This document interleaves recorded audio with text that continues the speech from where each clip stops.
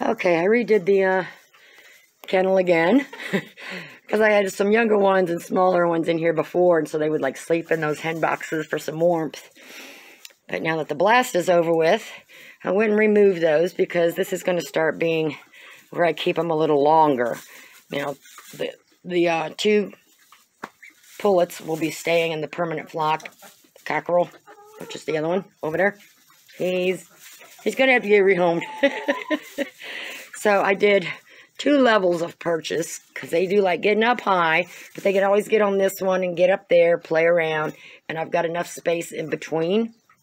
And if I have to get back there, poop or scoop for each, I don't have all the boards and everything in my way to where I have to like duck under.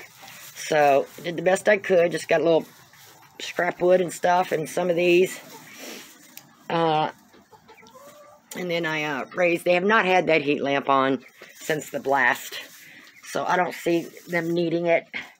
Um, they have acclimated to the weather. And they're old enough. So they're going to be let loose in the permanent flock as soon as they get just a little bit bigger. But this gives a lot more space. Um, so now when I poop or scoop and stuff, I took a little bed thing out of here because as they've gotten older, they now sleep on the perches at night. So I just went ahead and got rid of it. And there's enough straw. If they want to sleep, they make themselves a little hole there. so I got feed and some clean water. And I moved their sandbox over here, which they have not been getting it. Um, I haven't even pooper scooped, and there's not even any poop, poop in it. so um, they haven't figured that part out yet, which is fine. Okay, you guys have fun digging around. You got a lot more space now. And I've got a lot more space to walk around. Yeah. So I got everything all pooper scooped and everything in here. And I got some more straw thrown down. So I think this will do it. And come summer, this is going to be really nice for the breeze and stuff that comes through here. So, uh, yeah. All right, I'm going to leave him go. I will check on you later, okay? I'll check on you later. Look what I got put in. I do have to wash it, but my bestest friends came over and did all this for nothing just to help me out. Wasn't that nice?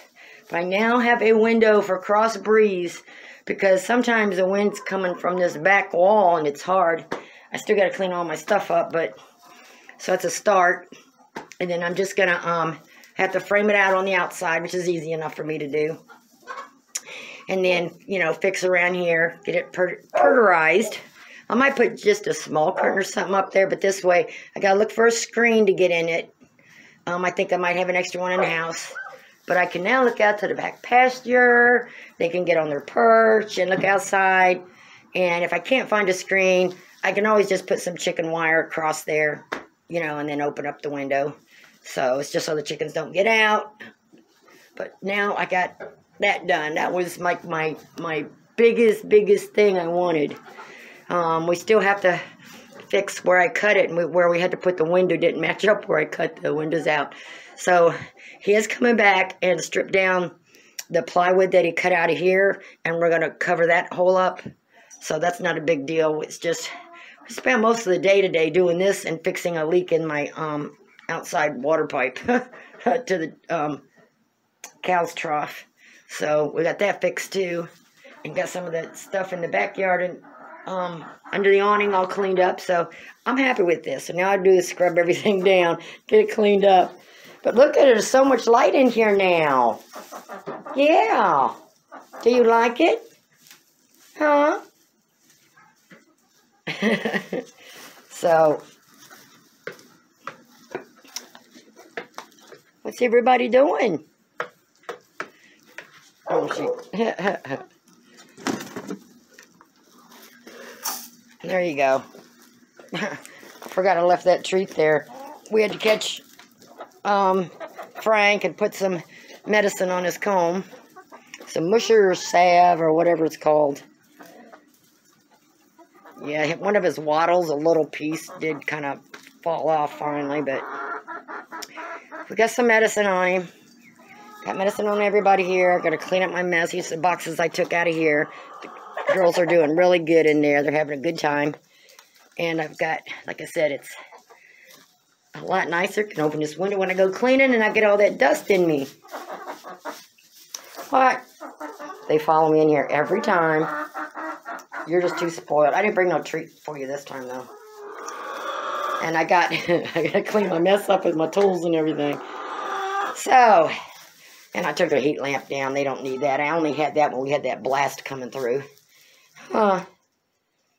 We're getting there. We're getting there. Now that this is getting dried up finally, I have to get a um, get a rake and just rake some of that where it's piled up a little bit out there. Huh. Yeah. You, does your comb feel better? Got it all salved up. Yeah. Got to sneak up behind him. I just throw some treats down, and when he goes, I can get sneak up behind him close enough. I just grab him. Huh. Yep, you know I'm the boss. You are not the boss. No, you ain't. I'm sorry, baby. He lost on this side of his wattle a little tiny piece at the bottom there. Might lose the tips on his comb. I don't know. I didn't get the salve soon enough to get it started, but we'll see how he does. I'm going to get me some ordered. Yeah, I am. Okay, I'm going to go sit down and get something to eat. Everybody's doing good in here. I got a pooper scoop real quick, and other than that, then I'm going to go sit down.